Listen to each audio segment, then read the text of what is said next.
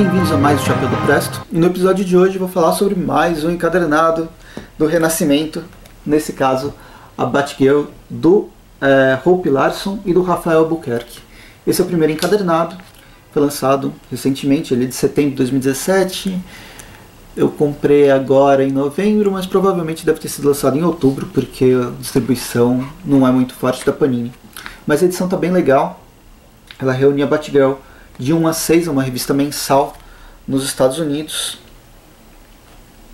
E bem, a personagem Batgirl, a Barbara Gordon, ela ela foi é, ela teve uma trajetória bem interessante nos anos 90 e 2000 que foi a época que eu realmente li é, li e me envolvi com a personagem bem nos anos depois da, da piada mortal que ela ficou paraplégica ela se ela se re, é, reinventou e se transformou na Oráculo era uma a Oráculo era uma heroína que fazia o suporte de todos os super-heróis do universo DC e era uma das personagens mais presentes e não for forçadamente presentes em todo o universo DC.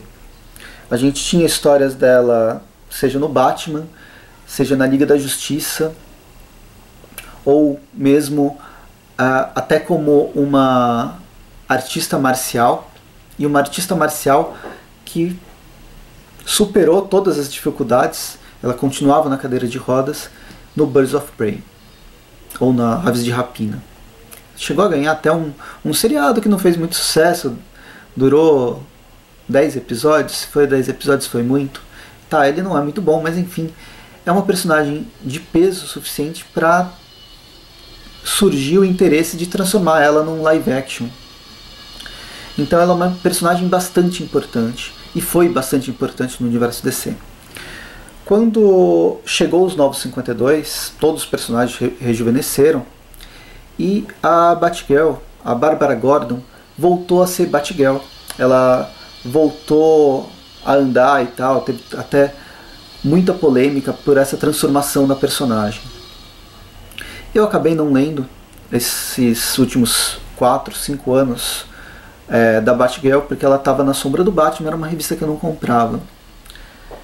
Eu só sei que ela voltou a andar e ela tá. Ela continua mega inteligente e tal. Normal. Mas agora ela é uma heroína. Eu acho que ela é uma, é uma um comentário meio velho, mas para mim, que acompanhou o Oráculo, eu acho que ela se transformar na Batgirl, é, se transformar numa ela acabou se transformando numa heroína, heroína mais padrão. Ela tinha uma relevância muito grande enquanto oráculo, que agora, como Batgirl, ela acaba sendo tendo uma importância muito mais local do que universal como ela tinha. Mas, enfim, isso, isso já aconteceu. É, houve explicações de que ela foi oráculo realmente, depois conseguiu voltar a andar. É, que isso foi tratado na, na revista mensal durante os 952. Mas enfim, agora com o Renascimento, a Panini publicou nesse encadernado e eu resolvi ir atrás para tentar ver qual era da personagem. E eu posso dizer que eu gostei bastante do, do que foi apresentado. Ela recebeu essa, esse rejuvenescimento, ela não tem mais por volta de 30, agora ela está por volta de 20 anos, 20 e poucos anos. E basicamente ela é uma universitária. E aqui nessa história, nessas seis primeiras edições, a gente tem aquele período sabático dos americanos de fazer uma viagem para qualquer lugar do mundo. Então é uma estrutura meio road trip, onde a Bárbara vai viajar é, através de alguns países da Ásia, como o Japão, China e a Coreia do Sul. Mas o mais legal é que assim, ela vai, ela tem esse esse ano, pelo menos essas seis edições sabáticas de viagem, que ela sai de Gotham.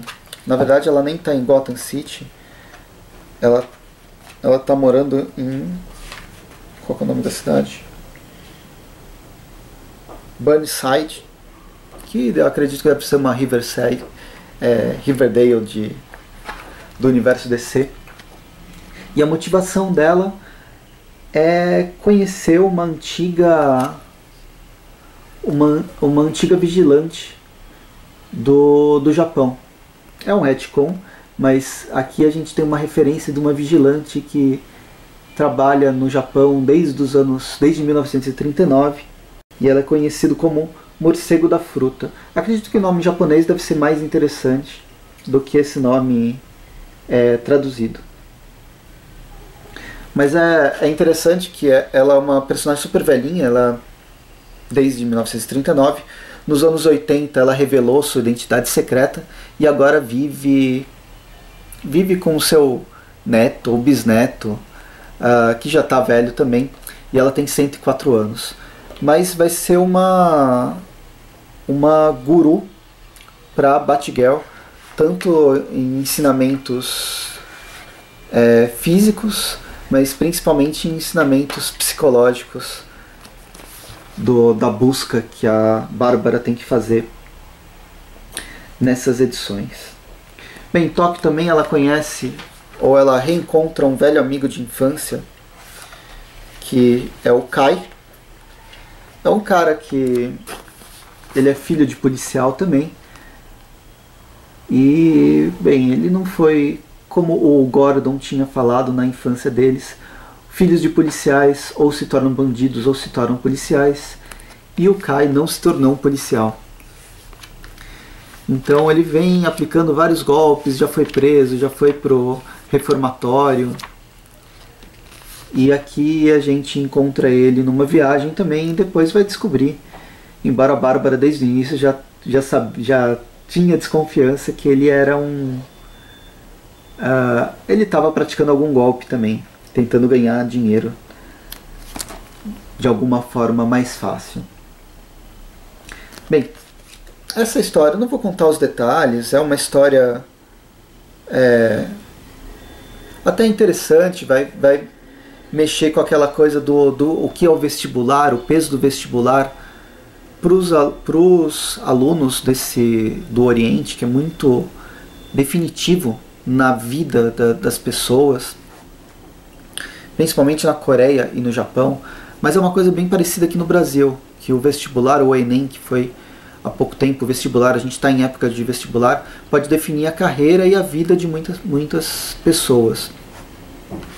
Então aqui é, se envolve com esse lance de vestibular uma droga de inteligência, mas é o, o grande lance da história é justamente essa, essa viagem que a que a Bárbara está fazendo pela Ásia, tentando justamente se encontrar a si mesma e tentando entender seus seus poderes. Né? Ela não é uma super heroína, ela, ela é uma, uma, uma vigilante, não tem superpoderes, mas ela tem uma grande inteligência e uma grande memória é, memória fotográfica que ajuda ela pra caramba, mas também ela tem que aprender a trabalhar com isso para saber quando isso vai ajudar, quando isso não vai ajudar e às vezes se libertar do passado para conseguir enfrentar os problemas do futuro.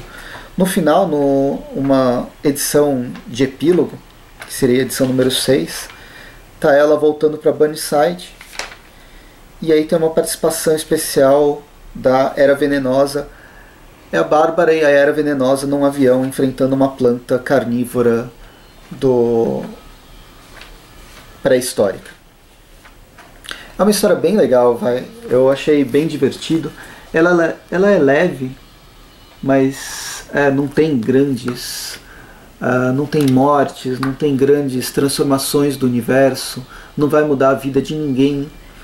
Talvez vai mudar a vida da, da Bárbara e do Kai, na história, mas ela não tem pretensão de ser o, a última grande saga da, da editora, nem, nem da personagem. Mas ainda assim é uma história muito bem contada, uma história envolvente, que você consegue encontrar paralelos com, com momentos até que a gente que você passou na sua vida ou que você vai, vai passar. Esse lance do vestibular acho que pega bastante.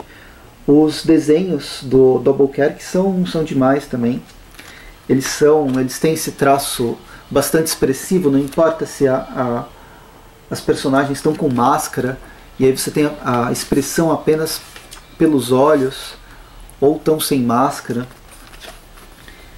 estão lutando por sua vida, mas tem mas além das expressões muito bem definidas, uh, existe um, um uso uh, um uso ilusório de retícula, talvez para fazer referência aos mangás que ainda são trabalho, ainda se utiliza retícula no, nos mangás, uma coisa que não usa muito no, no, nas revistas ocidentais por causa da colorização é, digital e tal. Mas não quer dizer que é, não tem o seu, o seu valor né, se, o, o lance das retículas. Além dos enquadramentos, do, de todo o lance é, cinético da arte do Albuquerque. Uma coisa que ele já tinha mostrado, por exemplo, em Vampiro Americano. Então é um, é um desenhista realmente que sabe entregar um trabalho muito interessante e ajuda bastante no desenvolvimento, na, na dinâmica que a gente tem na história do Hop Larson e para o leitor ler rapidinho a história e se divertir bastante. Um outro detalhe é, interessante, eu acho que tem aqui. Isso aqui é uma, um detalhe do letrista. Normalmente quando a gente tem alguém falando em outra língua, ela tá entre colchetes ou entre aspas, alguma coisa assim. Nesse caso, todo mundo que está falando japonês fala em vermelho. E é só um detalhe bem bem pequenininho, mas é interessante, um detalhe que diferencia, na verdade, do, do que a gente já está acostumado. Aqui tem ela com a morcego e com o Kai de novo. Bem, Batgirl é, é, o primeiro encadernado, é uma revista mensal, está sendo lançada ainda nos Estados Unidos. Provavelmente a Panini vai continuar lançando no ano que vem os próximos encadernados. Eu acho que é uma, é uma história divertida para quem gosta do personagem e até para quem não gosta, quer pegar alguma aventura descompromissada. É uma história bem interessante, vale a pena ir atrás.